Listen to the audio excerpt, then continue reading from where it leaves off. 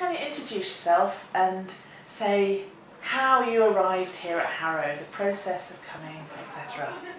to Harrow, as in your job interview, etc. Okay, um, so uh, my name is Richard Downs, I'm an economics teacher. I started off um, at a school in the UK called Malvern College, which is a predominantly boarding school.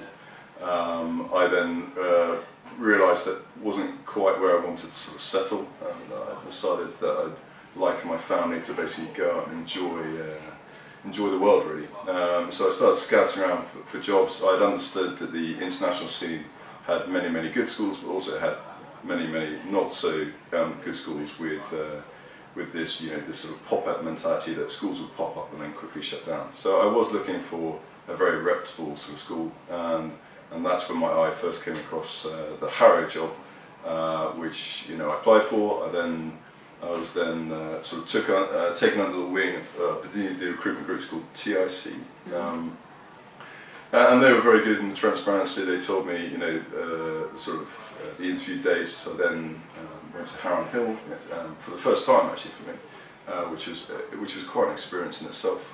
And I met, yeah, all of the senior leadership team.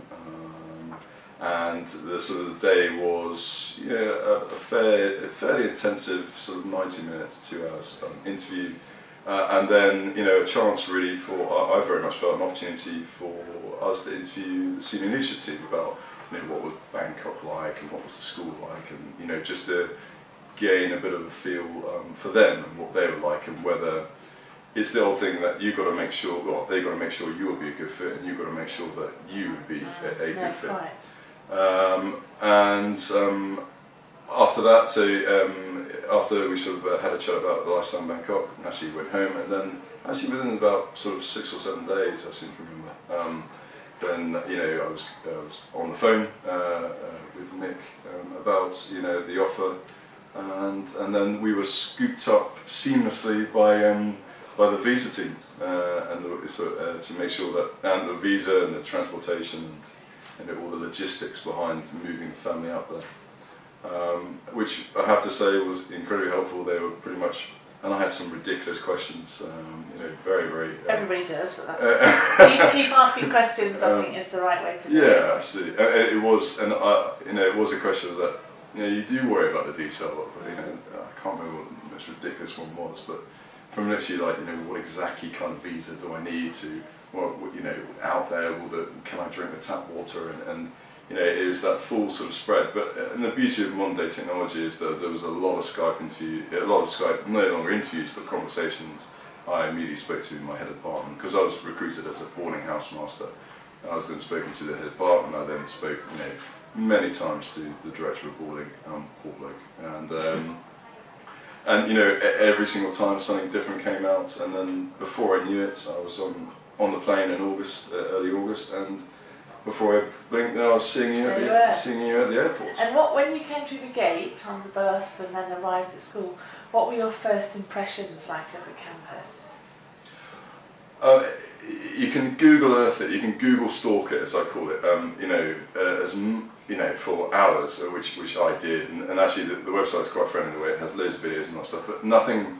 I, I think from the from the chaos of Bangkok, and Bangkok is you know beautiful in its chaos in its own way, to the sort of serenity and tranquility of coming into this, and everything seems to just sort of calm down, and nice, you, are into yeah. this. Suddenly you've gone from quite sort of you know, it, it's a it's a city, yeah. it's a city in every respect. You're like on a busy soi, aren't mm. we? It's a busy road coming in, and then you come through the gates, and it's sort of like ah, yeah. English again, sort of thing. Yeah, it is. It, it, it, you know, green and pleasant, certainly. Um. You know, uh, green and pleasant with with in an oven. I think it's how to describe. You know, the there's no getting away from the heat. It is hot. It's you know hugely um, hot. How, how are you? That's one of my questions actually. How mm. are you coping with the heat and your family because you've got little ones? Mm. Yeah. Yeah, I do. Yeah. So my two children uh, and my wife indeed. My wife loves it. She just loves the fact she can, literally hasn't worn trousers and well since we've been here. Right. Um, my kids the, the, the thing with the kids, they would run around, run around, run around, and then get very, very hot, and we'd have to shove them in aircon for a bit, and then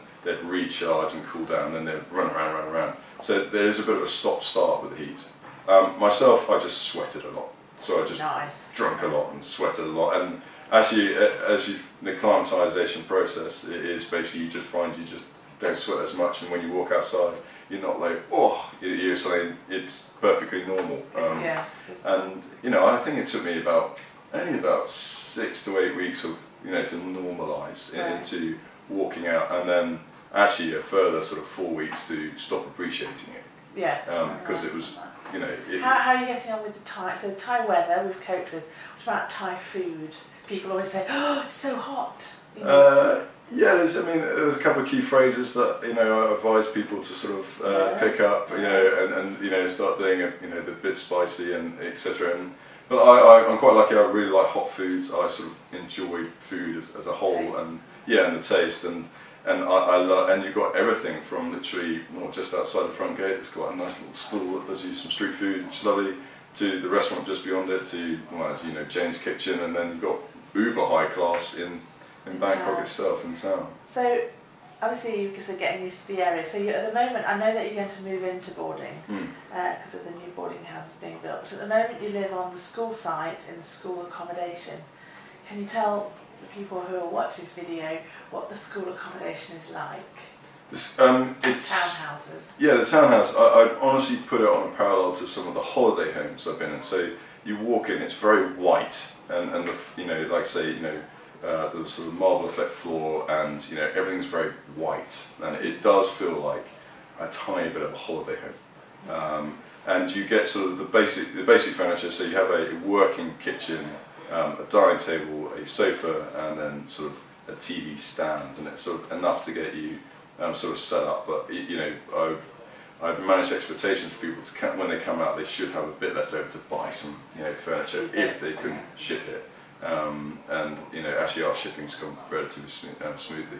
Um, uh, but I have to say, you know, our biggest concern, I remember this, was how big the beds, because are quite small. There was an image you know, I, am over six foot, my wife's six foot. You know, our bed is great because we barely see each other. And, right, know, so a really big bed. It's a massive bed. The, the, mattresses are hard. I mean, again, it's sort of tiny details, but but you can buy these wonderful toppers and, and memory foam and all that sort of stuff. Yeah, and, And yeah, so the beds are really cool and big. I mean, it's they're all three beds. You know, we have you know an ensuite bathroom, which is great, and and you know, actually the other two rooms, the kids.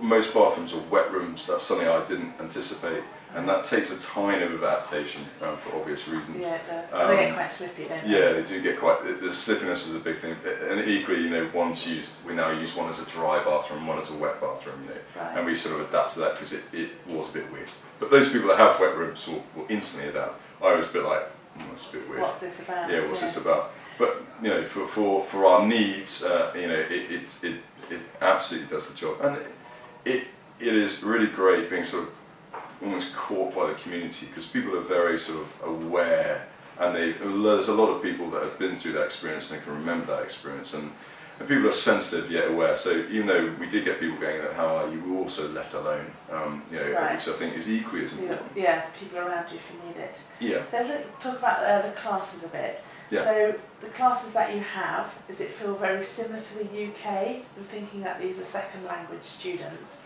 uh, English speaking students. Does that make a difference in your teaching? Are you enjoying it? How's the class then going? Um, uh, economics. Economics, sorry, economics and business. So, um, uh, in terms of difference to the teaching, yes, yes, it does. I mean, but if, if most most boarding schools certainly are sort of internationally flavoured, but even if you're not used to that, of, of course, but it's all it's all relatively sort of standard teaching stuff. There are certain words that you know that you could struggle with yourself and that you know the kids are going to struggle with. And you know, you just put them up on the board. Um, I have to say, I, have I've not had a problem. The, the, one of the biggest things that was said to me before we came out here, oh, they're all going to speak Thai, and you know, they won't. I've not, I've not had that at all. The only time I've most noticed it is probably in the corridors, but certainly in classes, I, I have not been aware. Um, I should really say of of the sort of the speaking Thai to each other. I've occasionally said, "Come on, English," but no more so than when I taught German students or Chinese students or any other nationality that I've taught. Um, the class sizes are good, so sixth form tends to be around about sort of 12, and then you know the IGC, the largest one I've had, the one I have, sorry, is 22. So that that's again that sounds slightly less. Um, well, certainly in the school I taught at in the UK, but and then certainly less than the, um, the state school I taught at in the UK. Have you got things like, like the mod cons that you need, computers or PowerPoints or overhead things? Have you got everything that you need to teach or Yeah, is it backwards? No, no. When you arrive, you're given this, the, the Dell. I was from a Mac school and moving to Dell, and it was a bit weird. But they have a great system that, you know, most classrooms um, have either this overhead camera that I haven't used before actually, um, but they, they, you just clip yourself in, and then all your PowerPoints can sort of upload. The internet connection, I have to say, is, is, is very good. That was a that was always a worry that you know I've got all these wonderful you know YouTube clips Yeah, and these wonderful moving yeah. images and then the or buffering wheel. So the internet connection is very good. The power the power does get cut occasionally. Um, I think that's something you have to be aware. Of. But again, you, you always have a backup and you know and when when you're teaching, you, you know you can't rely on PowerPoint. And indeed, I don't think you should always rely on PowerPoint. Um, and so you, you do have to wheel out occasionally the, the, the low power. The, the one thing that I have, I have to say was in my mind is the heat. So wearing this in the heat, yeah, the, all the classrooms are, are over air conditioned. Um, I would say you almost have to. That's one actually standard thing that I'm not used to. You have to sort of go into your class. I'd say half an hour before, if you can, and just check the temperature and or set the conditions so the temperature is going to be okay because it's either Arctic or someone had, or someone's turned off the aircon, in which case Yes. it's boiling. Okay, Um, good, very good tip. Very and, good uh, tip. But again, it's it's it's very very minor stuff. In general, you know, the kids, um, you know, I found it a weird blend between they are more independent in terms of they'll go away, look at mark schemes, think, oh, I don't quite know this, and yet less independent in terms of. Uh, you know, they do like to be sort of led through stuff step by step, Right. a tiny So bit. quite variety really. Yeah, Yeah. huge. And I still, Okay. Honest, I'm only on sort of month three, or four now, sorry, three, three, three. Um, uh, yes, I think. Uh, and, you know, I still haven't, you know, naturally every student's different, but as a general sort of theme, uh, I found that, you know, they are more driven to wanting to answer exam questions. Yeah, so the children want to learn. Yeah, I'd, I'd say certainly the balance of desire for learning is probably slightly stronger. You know, I had I had more reluctant students in, in England I certainly I do here. Um, the, only thing is, is the, one sort of downside I would say is that expectations are very very high, and you know eh, you know especially sixth form, everyone wants to go to a Russell Group, everyone wants to go to an Ivy League, everyone wants to go to top eight Australia, and you know and to just manage those and stuff like that. It, is sometimes is, is well, it's, it's it's hard, but again, you get similar things in the UK. Yeah. Tell me about your average day. Like, you know, maybe you get up at six, or Mm. what time do you have to be at work, etc.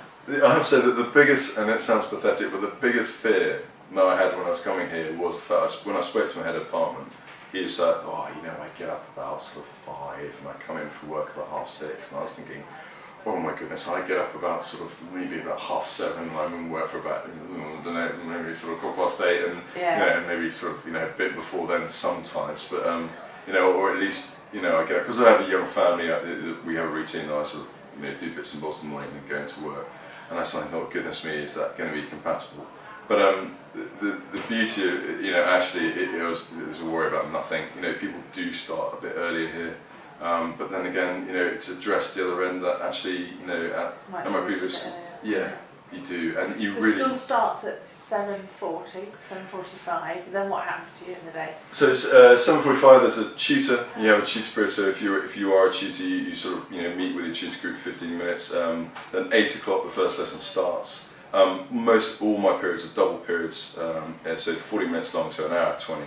Um, and again, that was twenty minutes longer than my previous lesson, but I've actually not.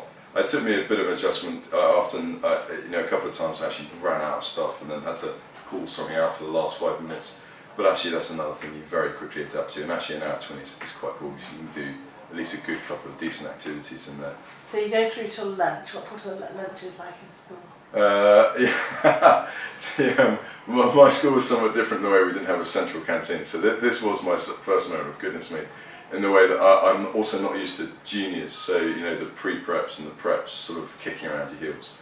And I remember walking in, at, you know, lunch at 20 past 12, and it is this sort of big canteen with loads of choices and massive place, and there were just Is the kids. food okay, or Yeah, the is, food. is it just Thai? No, no, no, no. So there's there's an international counter, then halal counter, and then a sort of fruit counter, a salad counter. And there's so many counters, I get disorientated, and uh, you sort of sort of you queue up. You know, you, you semi queue up the kids. You're allowed in the building, and then you queue up the kids, And then you know it's a very similar sort of buffet style meal, but. I'm not fussy with my food. I can sort of eat anything, um, but uh, I've never found a day I was like, Oof. you also in departments which I, I, didn't get before, get a little plate of sandwiches and fruit, um, so you can sort of snack during the At day. break time sort of thing. Uh, yeah, but they normally come in about nine actually, so it's, it's what I call danger snack, um, where you just sort of find yourself. The bread, you know, thing is very very sweet. You sort of that Yeah. takes you. Everything's quite sweet out It is everything's sweet um, but they love their sugar. So all, all's well in school. What about uh, how do you what do you do with your weekends? I know you're going into boarding Mm. or you're doing boarding duties, but on the weekends uh, for a general teacher, what what would you be doing with your family, with Mm. little ones? So two schools really. There's the there's the what I call the lucky ones, the young and singles uh, that basically they, they go off and have their epic adventures, be it in the city or you know outside, uh, wherever they, wherever they go. I mean everything is it's a weird. I call it a sort of two hour hundred percent. That everything is within a sort of two hour drive from you know tropical beaches to you know massive nightclubs to uh, high culture sort of old Wat temple sort of type stuff. Um, you know, for me as a, as a family, the, the facilities on site are, you know, I'd say outstanding. You know, the, swi- the you know amazing swimming Can swimming you pool. use the swimming pool, Mm. gym? And Yeah, I need to do a bit more, gym, But um, certainly, um, it, it's a lot of stuff. It, it, you know, there's always a security guard around. That's something again I wasn't used to. There's always a security guard, and there's a lot of sort of look. Can you open this up for me? And they, and they will. But tennis courts are on hand. Swimming pools on hand. There's a there's a there's a decent gym on hand. You know, there's a sports hall. You know, on hand, and you know. teachers can use these. Yes, Yeah. yes, all the time. Um, the, the only time is actually when they're doing standard maintenance. You know, so, you know, uh, and the, the swimming pool. Another really cool thing is not chlorine; it's a salt water based one. So, and that's that's uh, really makes a big difference as you got you know people with kids. As well as, or you can just jump in and go to a really, really expensive hotel, uh, you know, expensive hotel that you can now afford, you know, in Bangkok. So, you know, the first time my wife and I have been to some pretty you know, ridiculous, what I call hotels with massive suites that have cost us relatively little. Yeah. Um, So that that's one of my questions really. To the teachers that are coming out here, can they afford to do these things? Can they uh, afford to go to the beach in these hotels because of the Uh, let, let- let me put it this way. So, uh, and uh, I cannot think how to say this without sounding um, decadent. So I'm just going to say it. You know, we have we have a maid. Um, so all our sort of um, again, cleaning and, and all, all the stuff that I don't think anyone likes doing. Um, not cooking. She, uh, not many Thais cook. I didn't. I didn't quite know that actually. No, no one cooks. A lot of people just buy the food, and again, you just buy the food. and the food's quite cheap The food is, locally. is locally. If you- again, you can you can find the expensive stuff, and actually the expensive stuff is easy to find. But actually, if you just get on your, your feet and walk, then you'll bump into about 15 million different food vendors that you. And the beauty of them is that actually, well, I haven't had any troubles yet. right. Um, as in, you know, every single kitchen I've been to, and we've tried a variety from street food to, my goodness me, this is a nice place. Um, you know, have very, it's all been fine. Um, you're right, the heat, the sort of the spiciness of the food is something to consider, but again, learn the phrase, you know, a bit spicy, and they understand and they're, they're used to it. And yeah, we've had some, you know, ridiculous. You know, we went to, um, you know, a five-star resort in Khao Yai, and we had a really nice hire car. We did that for a week, and we've been now to about three four-star hotels, and then we have our own maid that does all the stuff, which is really nice. And Yeah, nice Yeah. lifestyle. it, yeah, it just it's a lifestyle where in England we used to have to worry about childcare. You know, we, we, you know, you used to get in, and it was dark and it was a bit cold, and you know, um, there's there's not let's put it this way, there's there's a lot of stuff out here that's sort of I know it sounds horrible, but it's still done for you, and it's the stuff that you really hate doing, and life just is a bit easier and a bit nicer, to put it very Oh, plainly. that's way to put it. Um, Well, just to finish off, what sort of advice would you give to somebody who is thinking about coming here? Maybe give them a couple of positives and a couple of negatives. Well, not negatives, but challenges maybe. What sort of challenges have you had? Yeah, the um, they they they talk about the sort of you, you do go through a honeymoon. You go through a honeymoon where you're in that sort of you know almost disbelief phase. Oh my goodness, that, you know this is something we, we were talking about. The- I mean, my advice, and it's, it's an easy advice, is that there is no reason not to try it. There's I can't think of anything that there there is no. For instance, you know, say in two years' time or in a year and a half time now, I think yeah, it's not going to be for me it, you know, transitioning, you know, back to the UK, I don't see it being huge problems because the flights are done, you know, you get a lot of support transitioning back, and and certainly at the start I've had, I've got no plan to at all. Um, so for me, it, it's a question of if, if, for someone that was thinking about it and pondering and really struggling with it, I really did focus on the well, why not instead of the why. Mm-hmm. And, and there's not many why nots. Even if you just want a basic, you know, a two-year, very different break from what I, you know, almost got into the sort of not the grind of the UK because that, that's going to come out wrong, but you know, this, I guess the monotony for me, and it was a monotony of you know, same country, same weather system, same same everything. Yeah. Everything was the same. To somewhere that's very very different. I, I would advise you know you do go through that honeymoon period, then you do hit the what I call the living in period, and that is you know the culture is different. You know, it's I'm not talking culture of just seeing a temple. I'm talking a culture of how they do things out here. It is different. You do have to be aware of it, and it is frustrating. So you know when the work permits coming through, the bank accounts are a bit sticky. You know uh, and you know the language barriers, and, and you do go through that sort of. Yeah, it can get frustrating, and you know, and you live here, so you do have to go and find out a decent, you know, decent places to go to. But but there's enough people around here that again share that pain and, and know what it's like, and and actually the, the team around you can sort of advise on that pain. There's no getting around it, you know, there is no getting around it. You know, the place is bureaucratic, and you know, and when you go to these massive state parliaments, you are just in general awe of, the, of these, my goodness me, it's like a piece of paper for everything yes. that you do. Yeah. But, you know, certainly the, the team here, and I'm often down in HR just going, look, you know, what do I do about this? And they, they're very good at, they staple yourself, they staple something to you, you then go off and you do it for those that are really, really independent characters, and you know, and I potentially am one, that is difficult. You know, to go, goodness me, I need to, I, I feel like a baby, I have to have my hand held just to go and get right, yeah. my, my passport done or my you know, visa removed. But really, you can't do it without them, can you? You can't. But, and then I think there's a sort of danger then you, you, you sort of focus on that bit. But if you keep understanding of Thailand what it is, it's an amazing country with amazing places to go and see and a great launch pad to other places with and I, you know, I know this is sort of a recruitment video, but it really is an incredible school, you know, an incredible part of the world with, you know, 99.99% incredible kids mm, and, yeah. and a very supportive sort of staff network. Okay, and my last thing is uh, one word to sum up Harrow Bangkok. And you are allowed to say busy. Ah, exciting. Exciting. Lovely. Thank you very much.